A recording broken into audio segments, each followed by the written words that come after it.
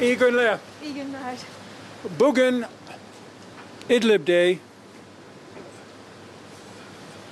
bizim müttefiğimiz Türkiye'nin askerler bir tehdit karşı karşıya. Bu tehdit Rusya ve Assad hükümetten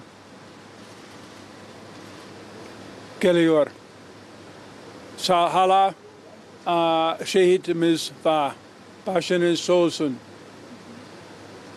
Biz bugün Ankara'ya gelip Türk hükümet ile durum gözden geçirmek istiyoruz ve mümkün olduğu kadar destek vermek istiyoruz. Uh, Ötsen, başka bir şey? Sayın Büyükelçim biz de ABD olarak şiddetle kınıyoruz bu menfur saldırıları Şam rejiminden.